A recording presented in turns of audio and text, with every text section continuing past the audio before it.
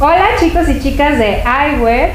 El día de hoy la cápsula está dedicada a los hombres porque Luis Sainz, el diseñador de moda de Love, nos va a ayudar a armar tres outfits en base a las tendencias de esta temporada otoño-invierno 2014-2015. Hola Luis, ¿cómo estás? Hola, muy bien, gracias. ¿Y tú? Bueno, aquí tú nos presentaste tres outfits y Sí. vamos a ver cada uno en qué te basaste y pues también para que nos compartas algunos conceptos eh, de lo que son estas temporadas, los elementos y consejos de estilo también pues para nuestros suscriptores de iWear.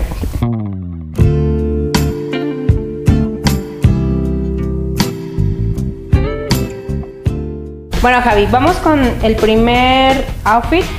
Explícanos los elementos que elegiste, por qué los escogiste, en base a qué tendencia. Sí. Bueno, esta, este outfit es algo muy casual, como para una ida al cine, para una salida con tu novia, a dar un paseo.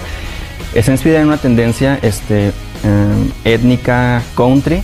Vemos que se ve muy padre esta esto de la, de la camisa, ¿verdad? Es como algo muy grunge. Sí, Muy de, noventa. sí, de, sí, se inspira en los 90 y sí, da un toque como, como tú dices, como grunge. Este, lo estuvimos viendo en muchas pasarelas. Este, si lo utilizas este mismo elemento de la camisa amarrada este, de cuadros en algo un poco más formal, le quita pues lo formal, vaya.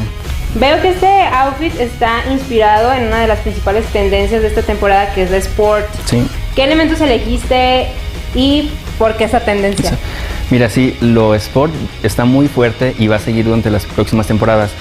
Elegí, bueno, es una sudadera en color blanco y con una frase. Es muy importante porque eh, durante las pasarelas estuvimos viendo muy marcado, o sea, prendas en un solo color con, con, un- con una frase, o sea, corta.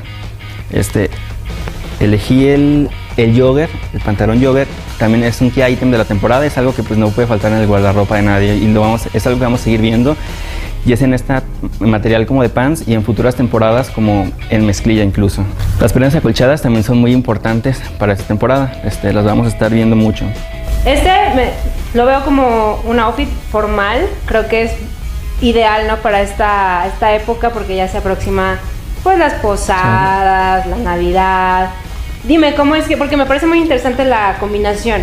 Sí, mira, Cuéntame un poco sobre esta está un poco inspirada en lo dandy, este, mezclé texturas, como por ejemplo, no tienes que elegir el saco um, De la tela del de pantalón. la tela del pan, sí, claro, puedes este, combinar, o sea, esta es como una textura como piel sintética con la tela del saco y el, y el terciopelo, que se me hace una- algo muy interesante. Elegí un suéter este, de cuello de tortuga, los cuellos altos también vienen mucho, tenía tiempo que no los veíamos y ahora regresan para este otoño-invierno 14. Pues ya vimos muy buenos los outfits que armó Javi para nosotros. De hecho, si se fijan, es- cada uno es muy distinto, pero sentimos que de hecho una misma persona podría usar los, Sí. los tres sin problema. Dinos, Javi, ¿cuál es tu consejo de estilo para nuestros suscriptores de iWear? Bueno, mira, mi consejo es que independientemente de lo que vean en las pasarelas y de lo que de las tendencias, tienes que usar algo con lo que te sientas cómodo, porque muchas veces dices, "No, pues es que vi tal cosa en la pasarela", pero yo cuando te lo pones no te sientes cómodo, te sientes disfrazado, entonces no te ves bien. Tiene que ser algo que refleje tu personalidad y con lo que tú te sientas cómodo. Muchísimas gracias Javi por abrirnos las puertas del Love y bueno, mostrarnos los outfits que armaste. Dinos dónde podemos seguir a Love o cuáles son las redes sociales. Bueno, nos pueden seguir en Instagram, es arroba lopmoda y nos pueden buscar en Facebook este, como Lop. Perfecto.